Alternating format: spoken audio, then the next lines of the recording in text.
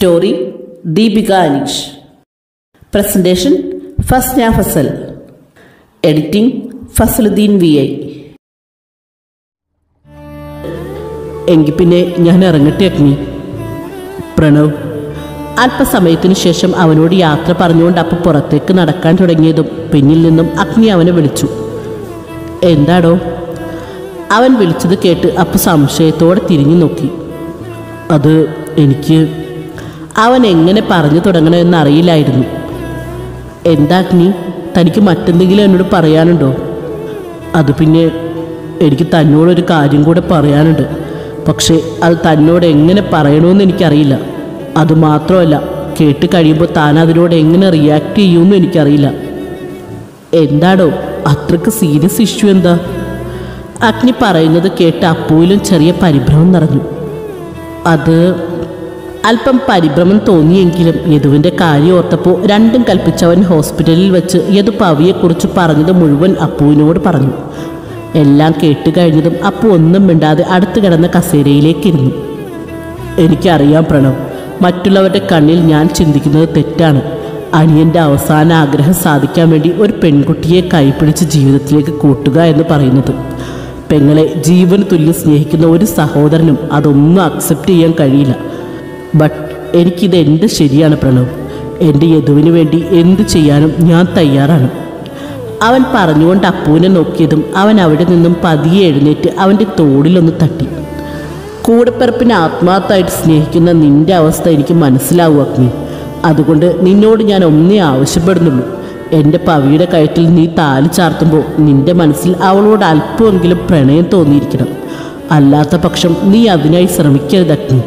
അത് ഭാവിയിൽ നിങ്ങൾ രണ്ടു പേർക്കും നല്ലതാവില്ല.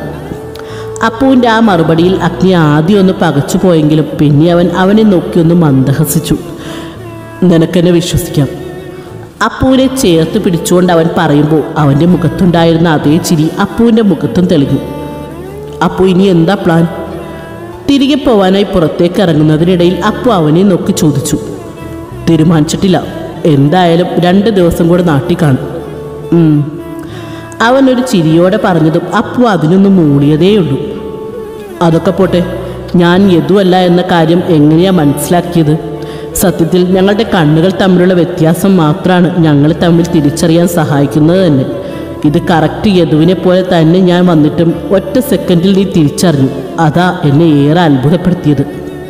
താഴേക്കിറങ്ങാനായി ലിഫ്റ്റിനകത്തേക്ക് കയറുന്നതിനിടയിൽ അഗ്നി പറഞ്ഞത് കേട്ടതും അപ്പു ഒന്ന് പുഞ്ചിരിച്ചു. അത് സിമ്പിളല്ലേ ഏതു എന്നെ ഒരിക്കലും പ്രണവെന്ന് വിളിക്കാറില്ല. അവന് ഞാൻ അപ്പുവാണ്. പരിചയപ്പെട്ട നാളിൽ ഒരിക്കൽ മാത്രമേ അവൻ എന്നെ പ്രണവെന്ന് വിളിച്ചിട്ടുള്ളൂ. അല്ലാത്ത പക്ഷം എവിടെയാണെങ്കിലും ഇനി ക്ലാസ്സിൽ എല്ലാവരുടെയും മുന്നിൽ വെച്ചാണെങ്കിൽ പോലും അവൻ എന്നെ അപ്പൂനെ വിളിക്കും. അതിന് പല പ്രാവശ്യം ഞാൻ അവനോട് പിണങ്ങിയിട്ടുമുണ്ട് എന്നിട്ടും അവൻ വിളി മാറ്റിയിട്ടില്ല. നീ എന്നോട് എത്ര പിണങ്ങി നടന്നാലും ഞാൻ നിന്നെ അങ്ങനെയേ വിളിക്കൂ. എന്ന് പറഞ്ഞു നടന്നവനാ യദു. അങ്ങനെയുള്ളപ്പോൾ പ്രണവെന്ന് വിളി കേട്ട അത് യദു അല്ലെന്ന് ഉറപ്പിക്കാൻ മറ്റെന്ത് തെളിവ് വേണം? അവൻ പറഞ്ഞതും അഗ്നി ഒരു ചിരിയോടെ തലയാട്ടി. അപ്പോഴേക്കും അവർ ലിഫ്റ്റിൽ താഴെ എത്തിയിരുന്നു. ഓക്കെ അപ്പം കാണാടോ? കാണണം. പാർക്കിങ്ങിൽ ചെന്ന് തന്റെ കാറിലേക്ക് കയറുന്നതിനിടയിൽ അപ്പു പറഞ്ഞതും അഗ്നി അവനെ ചേർത്ത് പിടിച്ചു. ശേഷം അവനോട് യാത്ര പറഞ്ഞുകൊണ്ട് അപ്പു കാർ തിരിച്ച് ഗേറ്റിന് പുറത്തേക്ക് പായിച്ചു. പിന്നെ യദുവിന്റെ കൊലയാളികൾക്ക് വേണ്ടിയുള്ള അന്വേഷണമായിരുന്നു. അഗ്നി യു എസിൽ അന്വേഷിച്ചപ്പോൾ താൻ ഡൽഹിയിലും നാട്ടിലും ഒക്കെയായി അന്വേഷിച്ചു. പക്ഷെ ഒരിടത്തു നിന്നും യാതൊരു വിവരവും കിട്ടിയിരുന്നില്ല. അതിനിടയിൽ എപ്പോഴോ അഗ്നിക്ക് തന്റെ പവിയോട് പ്രണയം തോന്നി തുടങ്ങിയിരുന്നു എന്നത് തന്നെ ഫോൺ ചെയ്യുമ്പോൾ പവിയെക്കുറിച്ചുള്ള അവന്റെ അന്വേഷണത്തിൽ നിന്നും മനസ്സിലായി. താനത് തുറന്നു ചോദിച്ചപ്പോൾ നിറഞ്ഞ പുഞ്ചിരിയായിരുന്നു അവന്റെ മറുപടി. പക്ഷേ അപ്പോഴൊന്നും യദുവിന്റെ കൊലയാളികളെക്കുറിച്ചുള്ള ഒരു സൂചന പോലും ലഭിച്ചിരുന്നില്ല എന്നത് തങ്ങളെ വല്ലാത്ത ധർമ്മസങ്കടത്തിലാക്കിയിരുന്നു. അങ്ങനെ രണ്ട് വർഷങ്ങൾ കടന്നുപോയി. അങ്ങനെ ഇരിക്കുകയാണ് ഒരിക്കൽ അഗ്നി വിളിച്ച് റിയയെക്കുറിച്ച് അറിഞ്ഞ വിവരങ്ങൾ പറയുന്നത്. സത്യത്തിൽ അവൻ പറയുന്നത് കേട്ടപ്പോൾ ആദ്യം തനിക്കൊരു ഷോക്ക് തന്നെയായിരുന്നു. വെറും ഒരു പ്രണയത്തിന്റെ പേരിൽ ഒരാളെ കൊല്ലുക എന്ന് പറഞ്ഞ അവളൊരു പെണ്ണ് തന്നെയാണോന്ന് പോലും ആ നിമിഷം ചിന്തിച്ചു പോയി. അന്ന് യദു അവളെ തല്ലിയ നിമിഷം അവനോട് അവൾ വെല്ലുവിളി നടത്തിയെങ്കിലും തങ്ങൾ അതത്ര സീരിയസ് ആയി എടുത്തിരുന്നില്ല. അതുകൊണ്ട് തന്നെ അവളിലേക്ക് ഒരിക്കൽ പോലും തന്റെ ചിന്ത പോയതുമില്ല. പിന്നെ എല്ലാം പെട്ടെന്നായിരുന്നു. അന്വേഷിച്ചപ്പോൾ അവളുടെ കല്യാണം ആയതുകൊണ്ട് അവരെല്ലാവരും അവരുടെ നാട്ടിൽ തന്നെ ഉണ്ടെന്ന് മനസ്സിലായി. ദിവസങ്ങൾക്കകം അഗ്നി നാട്ടിലേക്ക് പറന്നിറങ്ങി. കൃത്യം ഏഴ് ദിവസങ്ങൾക്കകം അതായത് അവളുടെ കല്യാണത്തിന്റെ തലേ ദിവസം അവളെ അവന്റെ ആളുകൾ പൊക്കിക്കൊണ്ടുവന്നു. ആളൊഴിഞ്ഞ ആ വീട്ടിൽ കെട്ടിയിട്ടു. കല്യാണത്തിന് ഇഷ്ടമല്ലാതെ അവൾ കാമുകനൊപ്പം ഒളിച്ചോടിപ്പോയി എന്ന് നാട് മൊത്തം പരന്നപ്പോൾ മരിച്ചുപോയ യദുവിനെ മുന്നിൽ കണ്ട ഞെട്ടലിലായിരുന്നു ആ നിമിഷം റിയ. ഇതേസമയം അഗ്നിയുടെ ചവിട്ടിൽ നിലത്ത് വീണ് കിടക്കുന്ന റിയയുടെ മനസ്സിലേക്ക് യാദവിനെ ആദ്യമായി കണ്ട നിമിഷങ്ങൾ കടന്നു വന്നു. പണത്തിന്റെയും പവറിന്റെയും ബലത്തിലും ആരെയും തന്റെ കാൽച്ചുവട്ടിലെത്തിക്കാൻ കഴിയൂ കഴിയുമെന്ന അഹങ്കാരത്തിൽ നടക്കുന്ന സമയത്താണ് താൻ യാദവിനെ ആദ്യമായി കാണുന്നത്. ആരെയും ആകർഷിക്കാൻ കഴിയുന്ന തരത്തിലുള്ള മുഖസൗന്ദര്യത്തിനുടമയായ അവനെ സ്വന്തമാക്കണമെന്ന് ആ നിമിഷം തന്നെ താൻ കരുതിയിരുന്നതാണ്. അങ്ങനെയാണ് അവനെക്കുറിച്ച് കൂടുതൽ അന്വേഷിച്ചറിയുന്നത്. യു എസിലെ തന്നെ ടോപ്പ് ബിസിനസ്മാനിൽ ഒരാളായ ദേവ് അഗ്നിഹോത്രിയുടെ മകൻ. പണം കൊണ്ടും സൗന്ദര്യം കൊണ്ടും തനിക്ക് യോജിച്ചവനാണെന്ന് തോന്നിയതും അവനെ എങ്ങനെയെങ്കിലും സ്വന്തമാക്കണമെന്ന് മനസ്സിലുറപ്പിച്ചു. അങ്ങനെ ആദ്യമായി അവനോട് ഇഷ്ടം പറഞ്ഞപ്പോൾ സ്പോട്ടിൽ തന്നെ അവൻ റിജക്റ്റ് ചെയ്തത് തന്റെ സൗന്ദര്യത്തിനേറ്റ ആദ്യത്തെ അടിയായിരുന്നു. അത് പിന്നെ തനിക്കൊരു വാശിയായി മാറി. അവനെ വിടാതെ ശല്യം ചെയ്തുകൊണ്ടിരുന്നു. ഒടുവിൽ സഹികെട്ട് അവൻ തന്നെ പരസ്യമായി തല്ലിയപ്പോഴാണ് അവനോടുള്ള തന്റെ വാശി പകയായി മാറിയത്. തനിക്ക് കിട്ടാത്തത് മറ്റാർക്കും കിട്ടരുത് എന്ന ചിന്തയിൽ തന്നെയാണ് അവനെ കൊല്ലാൻ തീരുമാനിച്ചത്. എന്തിനും ഏതിനും ഏട്ടൻ കൂടെയുള്ളത് കൊണ്ട് തന്നെ തനിക്ക് മറുത്ത് ചിന്തിക്കേണ്ടിയും വന്നില്ല. ഏട്ടനും ഏട്ടന്റെ ഫ്രണ്ട്സും ചേർന്ന് ഒരു ആക്സിഡന്റ് ക്രിയേറ്റ് ചെയ്ത് അവനെ ഈ ലോകത്ത് നിന്ന് തന്നെ പറഞ്ഞയച്ചപ്പോൾ താനെന്ന് മനസ്സ് നിറഞ്ഞ് പൊട്ടിച്ചിരിച്ചു. ദിവസങ്ങളും മാസങ്ങളും വർഷങ്ങളും കഴിയുന്തോറും യാദവ് എന്ന പേര് പോലും പിന്നെ ഞാൻ മറവിക്ക് വിട്ടുകൊടുത്തിരുന്നു. പക്ഷേ തന്റെ പകയേക്കാൾ പതിന്മടങ്ങ് പകയോടെ തന്നെ കാത്തു മറ്റൊരാളുണ്ടെന്ന കാര്യം ആ നിമിഷം താൻ അറിഞ്ഞിരുന്നില്ല. എല്ലാം കഴിഞ്ഞ് ഏകദേശം രണ്ട് വർഷങ്ങൾ കഴിഞ്ഞപ്പോഴാണ് ഡാഡിയുടെ ബിസിനസ് പാർട്ട്ണറിന്റെ മകനുമായിട്ടുള്ള തന്റെ കല്യാണം ഉറപ്പിക്കുന്നത്. തനിക്ക് ആ വിവാഹത്തിൽ പൂർണ സമ്മതമായിരുന്നു. എല്ലാവരും വളരെയധികം സന്തോഷത്തിലായിരുന്നു. കല്യാണത്തിന്റെ തലേന്ന് ഈവനിങ് ഫംഗ്ഷൻ കഴിഞ്ഞ് ഒരുപാട് സന്തോഷത്തോടെയായിരുന്നു അന്ന് താൻ ഉറങ്ങാൻ കിടന്നത്.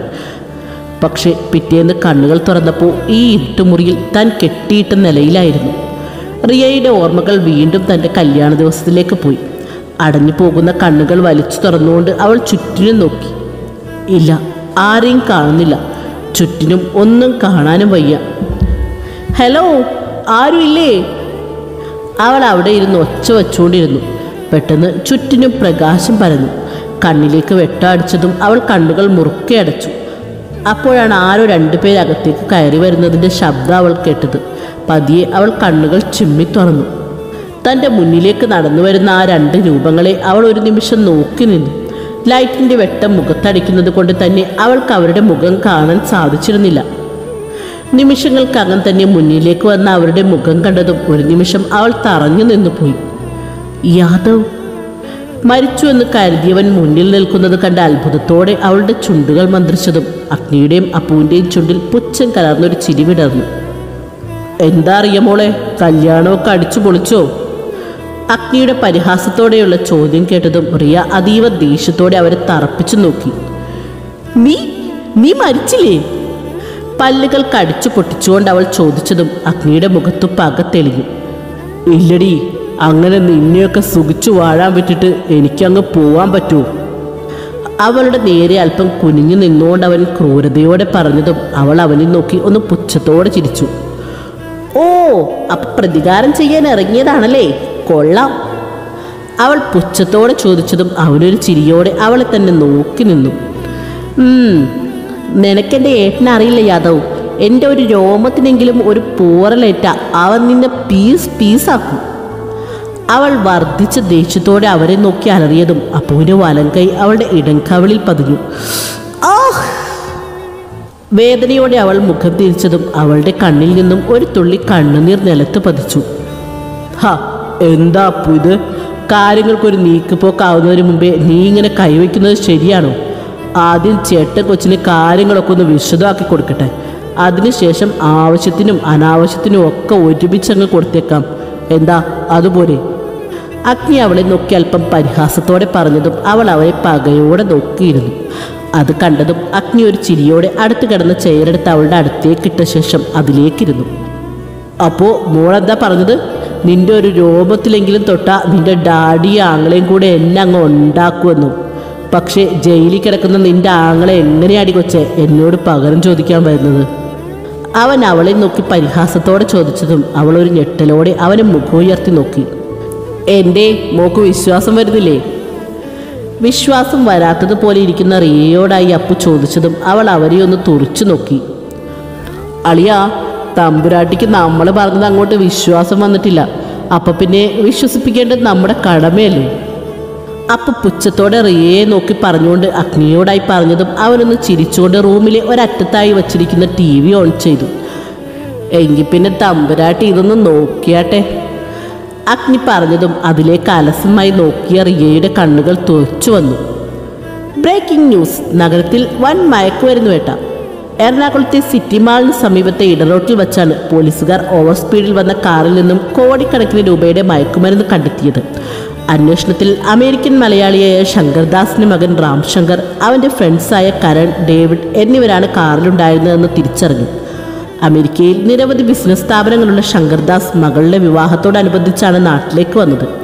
രഹസ്യമായി കിട്ടിയ ഇൻഫർമേഷനെ തുടർന്നാണ് എസ് പി അരുൺകുമാറിന്റെ നേതൃത്വത്തിലുള്ള പോലീസ് സംഘം മിന്നൽ പരിശോധന നടത്തിയത്. നടപടികൾ കഴിഞ്ഞതും രാംശങ്കറിനെയും കൂട്ടരെയും പോലീസ് അറസ്റ്റ് ചെയ്തു. ന്യൂസ് കഴിഞ്ഞതും റിയ ഒരു നിമിഷം ശ്വാസം പോലും എടുക്കാൻ പറ്റാതിരുന്നു പോയി. അവളുടെ കണ്ണിൽ നിന്നും കണ്ണുനീർ ഒഴുകിയിറങ്ങി. എന്താ മോളെ ഇപ്പൊ വിശ്വാസമായോ? അപ്പൊ പരിഹാസത്തോടെ ചോദിച്ചതും അവൾ ദേഷ്യത്തോടെ അവനെ നോക്കി പല്ല് കടിച്ചു. ഇത് വെറും സാമ്പിൾ മാത്രമാണടി. ഇനി അങ്ങോട്ട് നീയും നിന്റെ ആങ്ങളെ അനുഭവിക്കാൻ പോകുന്നേ ഉള്ളൂ. ബാസ്റ്റേർഡ് അവനെ നോക്കിക്കൊണ്ട് അവൾ പറഞ്ഞു കഴിഞ്ഞതും അഗ്നിയുടെ കൈയൊന്ന് ഉയർന്നു താഴ്ന്നു. കവിൾ നീറി പുകയുന്ന പോലെ തോന്നിയതും അവൾ ഞെട്ടലോടെ ഉയർത്തി നോക്കി. ആ നിമിഷം അവളുടെ മറുകരളത്തു അടി വീണു. ദീ പന്ന മോളെ നിന്റെ എല്ലില്ലാത്ത നാവ് കൊണ്ട് ഇനി ഒരു അക്ഷരമെങ്കിലും മിണ്ടിയാലുണ്ടല്ലോ. പിഴുതെടുക്കും ഞാനത്. അഗ്നി അവളുടെ ഇരു കവിളിലും കുത്തിപ്പിടിച്ചുകൊണ്ട് പറഞ്ഞതും അവൾ ഭയത്തോടെ കണ്ണുകൾ മുറുക്കെ അടച്ചു. ആ നിമിഷത്തെ അവന്റെ ഭാവം അത്രത്തോളം ഭയാനകമായിരുന്നു. ഡാ മതി ബാക്കിയവളുടെ മറ്റവന്മാരെ കൂടി കൊണ്ടുവന്നിട്ട്. അപ്പോൾ അവനെ തടഞ്ഞുകൊണ്ട് പറഞ്ഞതും അഗ്നി കൈയൊന്ന് കുടഞ്ഞുകൊണ്ട് പിന്നിലേക്ക് നിന്നു. സമീർ സാബ് അഗ്നി പുറത്തേക്ക് നോക്കി വിളിച്ചതും അവന്റെ ഗാർഡ്സിൽ ഒരാൾ അകത്തേക്ക് കയറി. രണ്ട് ദിവസത്തേക്ക് പച്ചവെള്ളം പോലും ഒക്കെ കൊടുക്കരുത്. വേദന എന്താണെന്ന് ഇവൾ ശരിക്കും അറിയണം. മനസ്സിലായല്ലോ? ജി സബ് അവൻ അയാളോടായി പറഞ്ഞുകൊണ്ട് പുറത്തേക്ക് ഇറങ്ങി. അപ്പോഴേക്കും സമീറിന്റെ കൈകൾ അവളുടെ ദേഹത്ത് ശക്തിയായി പതിച്ചുകൊണ്ടിരുന്നു. അതിന്റെ വേദനയിൽ അവളുടെ നിലവിളി അവിടെ ഉയർന്നു കേട്ടു. മുഖത്ത് ശക്തമായി വെള്ളം പതിച്ചതും റിയ ഒരു ഞെട്ടലോടെ ഓർമ്മയിൽ നിന്നും തിരികെ വന്നു. എന്താടി? ഇനി നീ ആരെയൊക്കെ ദ്രോഹിക്കാന്ന് ആലോചിച്ചുകൊണ്ടിരിക്കുകയാണോ മുന്നിൽ നിൽക്കുന്ന അഗ്നിയുടെ ഗാർഡ്സിൽ ഒരുവൻ അവളെ നോക്കി പുച്ഛത്തോടെ ചോദിച്ചതും അവൾ ഒന്നും മിണ്ടാതെ തല കുനിച്ചിരുന്നു ആ അതെങ്ങനെയാ പീറ്റർ? ഇനി അധിക ആയുസില്ലാത്ത ഇവൾ ആരെ ദ്രോഹിക്കാനാ? പീറ്ററിന്റെ അടുത്ത് നിന്നവൻ പറഞ്ഞത് കേട്ടതും അവൾ ഞെട്ടലോടെ അവരെ നോക്കി. ആ എന്താടി വച്ച നോക്കുന്നേ? ഞങ്ങൾ പറഞ്ഞത് നേരാ. ഇനി കൂടിപ്പോയ രണ്ടേ രണ്ട് ദിവസം. അത്രേ ഉള്ളൂ നിന്റെ ആയുസ് നിന്റെ ആങ്ങളെയും കൂട്ടരും ഇവിടെ എത്തുന്ന നിമിഷം വരെ മാത്രമേ ഉള്ളൂ നിന്റെ ആയുസ് അതുവരെ ചെയ്ത ദ്രോഹങ്ങൾക്കെല്ലാം കൂടി കർത്താവിനെ വിളിച്ച് മുട്ടിപ്പായിട്ട് പ്രാർത്ഥിച്ചു. അയാൾ പുച്ഛത്തോടെ പറഞ്ഞുകൊണ്ട് പുറത്തേക്കിറങ്ങിയതും പ്രിയ ഭയത്തോടെ കുനിഞ്ഞിരുന്ന് കണ്ണീർ വാർത്തു. ആ നിമിഷം അവളുടെ മനസ്സിലേക്ക് ചെയ്തു പോയ ഓരോ പാപങ്ങളും കടന്നു വന്നു. പാപത്തിന്റെ ശമ്പളം മരണമാണെന്ന് ആ നിമിഷം അവൾ മനസ്സിലാക്കിയിരുന്നു. തുടരും.